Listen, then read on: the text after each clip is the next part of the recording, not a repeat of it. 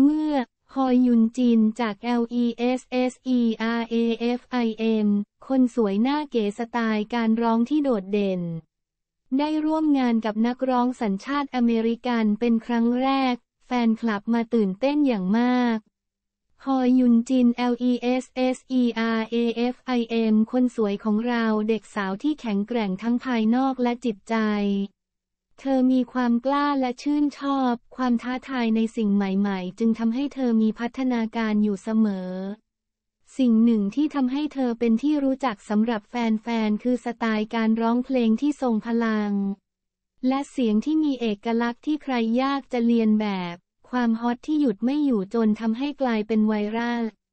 อันร้อนแรงบนโซเชียลเกี่ยวกับเรื่อง ความสามารถความสวยนั้นทำให้เธอได้คำชื่นชมจากแฟนๆ อย่างล้นหลาม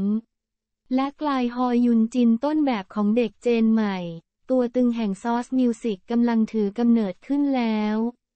ฮอยุนจิน LESSERAFIM จะร่วมผลงานกับแม็กซ์นักร้องชาวอเมริกัน ฮอยุนจินจาก LESSERAFIM นักร้องและนักแต่งเพลงชาวเกาหลีอเมริกัน ทักษะการร้องและเต้นทำให้เธอเป็นขวัญใจแฟนๆ อย่างมากจะมาร่วมงานเพลงใหม่ของแม็กซ์นักร้องเพลงป๊อปชาวอเมริกันเป็นครั้งแรก เมื่อวันที่ 11 มกราคม 2024 ที่ผ่านมานักร้องเพลงป๊อปอย่างแม็กซ์เปิดเผยรายชื่อเพลงเต็มของเขา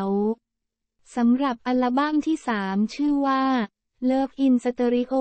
ตามรายชื่อที่ถูกเปิดเผยออกมานั้น จะเห็นได้ว่าเพลงแรกที่ใช้ชื่อว่า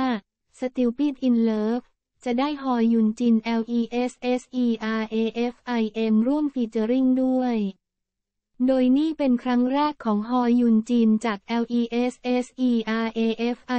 ได้ร้องเพลงร่วมกับนักร้องชาวต่างชาติ Max เป็นที่รู้จักของแฟนๆ K-POP มากมายจากการร่วมงานกับ SUGA สมาชิก BTS เขาได้ฟีเจอริ่งในเพลง Burn It จาก Mixtape D2 ของ SUGA และ SUGA ยังได้แสดงเพลง Blueberry Eye ของ Max ตั้งแต่ปี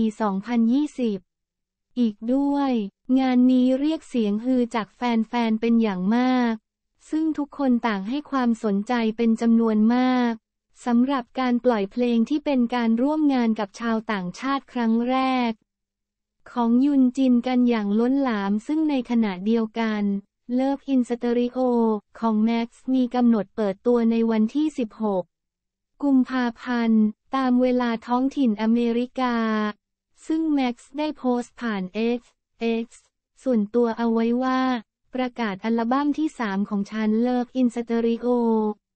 จะวางจำหน่ายวันที่ 16 กุมภาพันธ์นี้ ฉันรู้สึกเป็นเกียรติอย่างยิ่งที่มีผู้ร่วมงานกับคนที่น่าทึ่ง เช่น ฮอยุนจินจาก LESSERAFIM keshi JVKE Bazzi Duckwrth และ Ali Gatie นี่เป็นอัลบั้มพิเศษสำหรับฉัน